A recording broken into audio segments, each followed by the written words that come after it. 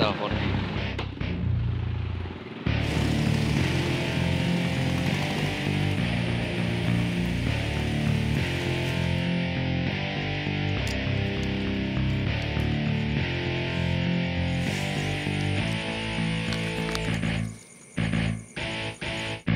Halo? Halo, Mon. Lo lagi di mana? Gue bisa ketemu sama lo nggak sekarang? Gue lagi di Jalan Haji Ramli Raya. Kenapa, Ki? Oke, okay. Kita ketemu di sana aja kali ya? Oh, iya bisa. Ya udah gue jalan ya. See you, man. Oke, oke. Haji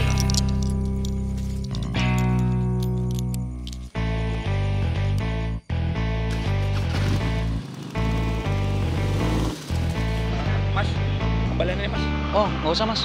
Eh, kalau nggak ini saya beli satu lagi deh. Tunggu sebentar ya. Ya.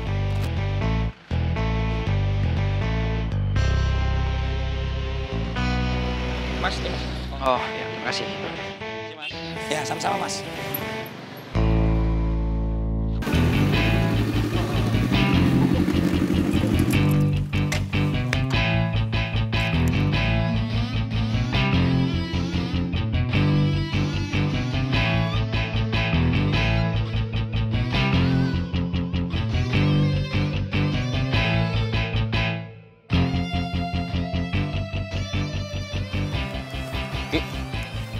Nih.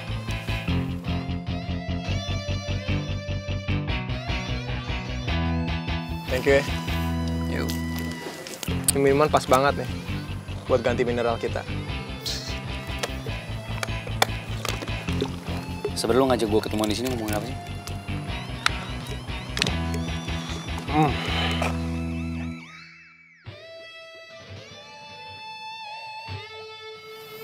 Bismillahirrahmanirrahim. Oke. Mons, setelah lo denger omongan gue ini, gue harap lo nggak bisa merubah pikiran negatif lo tentang gue. Ya gue sih sebenarnya seneng Ki, lu mau cerita sama gue, mau terbuka sama gue. Oke. Ya, artinya lu ngargain gue, cuma ya sebenarnya ada apaan. Karena gue percaya sama lo. Iya, thank you karena lu udah percaya sama gue. Oke. Lo kenal Rio? Iya, kenal lah. Kenapa? Gue abangnya Rio.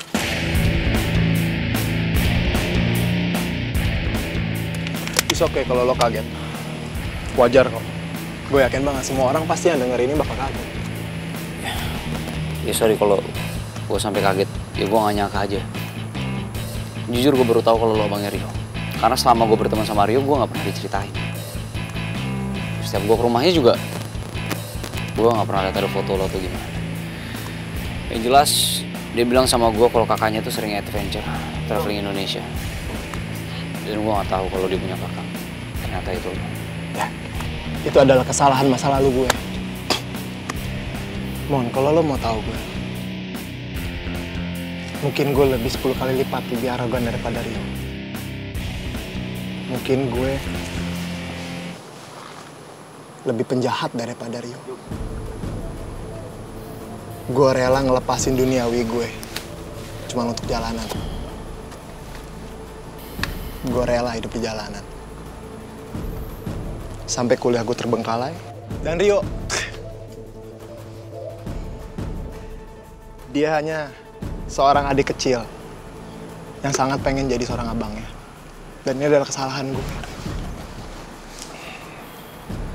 Gue tahu apa yang gue lakuin itu salah. Sekarang. Dan itu adalah dosa-dosa gue. Terutama almarhum Boy.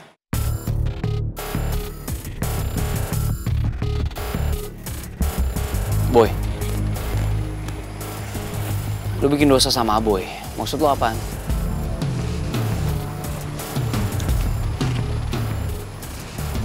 Mr. X. Itu gue.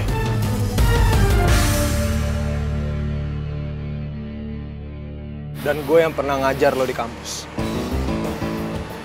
Ya. Wajah ini. Tapi semua apa pun yang gue lakuin, itu semata-mata cuma untuk adik gue. Sorry. Gue paham banget kalau lo bakal tegang kayak begini. Setelah gue dengar cerita ini, tapi please. Oke? Dengerin cerita gue dulu sampai selesai. Gue percaya sama lo. Kejadian itu. Pertama gue denger. Kalau adik kesayangan gue masuk rumah sakit. Dihajar sama klub anak jalanan. Yang katanya klub terkuat di jalanan. gue datang ke sana. Dan ternyata adik kesayangan gue difonis lumpuh seumur hidup. Sekarang gue tanya sama lo. Kalau lo di posisi gue sebagai abang, apa yang akan lo lakuin?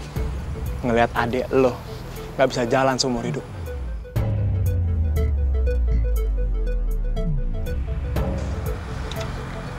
Gue cari anak jalanan satu-satu. Pada akhirnya, gue habisin ketuanya. Gue habisin pasukan-pasukannya. Satu persatu. Dan lo tau, tanpa gue tahu apa penyebabnya, tanpa gue tahu kebenarannya, dan sekarang mata gue udah kebuka lagi. Dan lo tahu apa rasanya sekarang di hati gue? Melakukan sesuatu hal yang gak, yang gak bener banget. Kepada orang yang sangat dicintai. Boy. Dan gue mau nebus dosa-dosa. Begitu singkat ceritanya.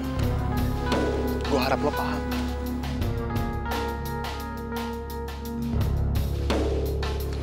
Sekarang terserah lo. Lo mau percaya sama gue atau enggak?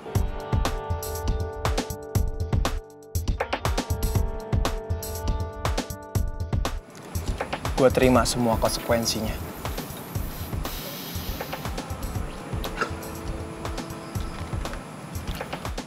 Gue ngerti alasan lo. Kalau gue ada di posisi lo, gue bakal lakuin hal yang sama Apalagi kalau sampai orang yang gue sayangin itu lumpuh. Dan gue seneng kalau lo ngaku. Meskipun lo baru percaya dalam satu pihak. Gue ngerti alasan lo. Thank you kalau lo udah ngerti. Gue paham kalau lo pasti marah sama gue. Ya, Buat apa gue marah sama lo? Lo juga udah jujur sama gue. Cuma gue masih bingung satu hal. apa tuh? Kenapa justru sekarang lo mau nyerang Godzilla? Di situ ada Rio adik sayangan lo. Setelah gue sadar dan pikiran gue sudah mulai terbuka tentang apa arti itu kebaikan. Jadi hal yang pertama harus gue lakuin adalah gue bisa membawa orang yang terdekat sama gue ke jalan yang benar. Di jalan yang sama-sama gue.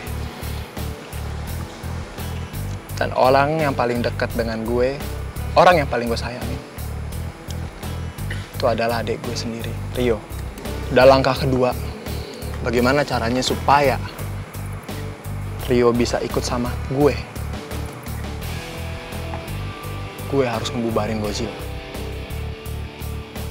Karena geng itu adalah geng yang gak ada gunanya.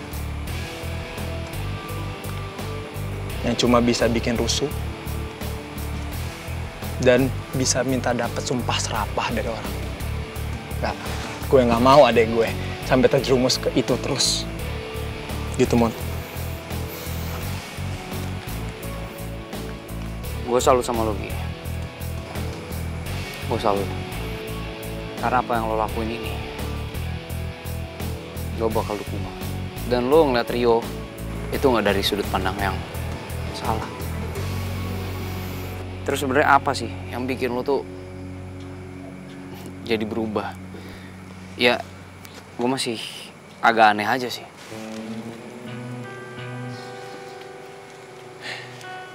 Kalau lo mau tahu,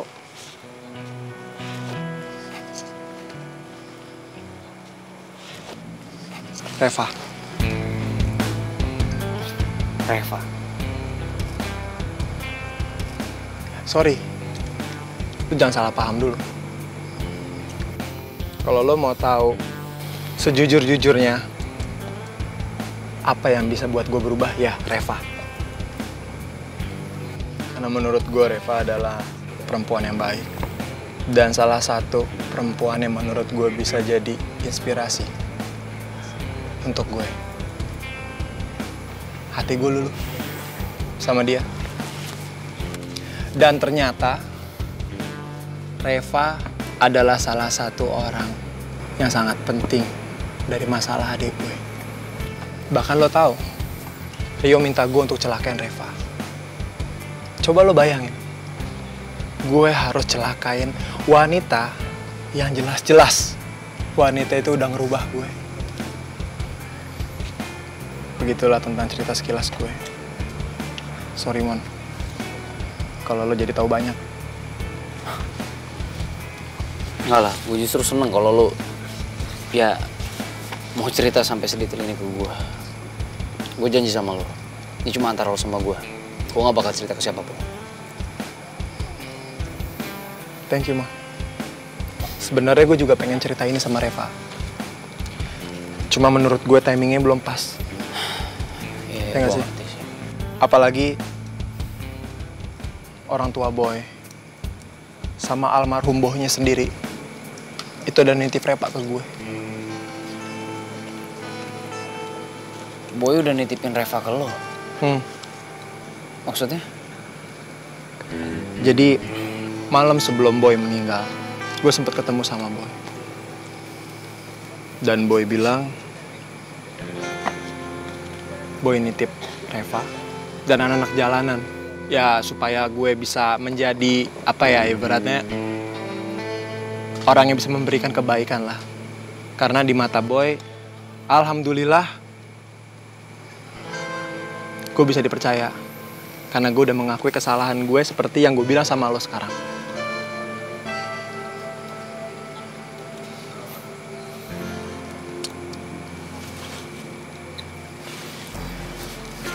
Gitu, Mon. Oke. Ya gue udah mulai ngerti semuanya. Intinya, lo gak usah khawatir, lo gak usah takut. Rahasia lo gue pegang, dan masalah lo sama anak-anak, ntar bakal gue omongin deh. Gue bakal bantu lo. Serius loh? Thank you, man. Sekarang lo brother gue. Ya. Ya. Gue harap anak-anak yang lain bisa nerima gue seperti lo nerima gue sekarang. Dalam masalah lo tenang aja, ya. Gue bakal ngomong sama anak-anak, supaya mereka bakal nerima lo. Amin, amin, amin. Oke, dan mendingan sekarang kita jaga-jaga deh. Kita standby. Takutnya ada anak-anak perguruan yang ngabarin kita di mana Godzilla berada. Ya. Oke. Parah. Dapetin gua motor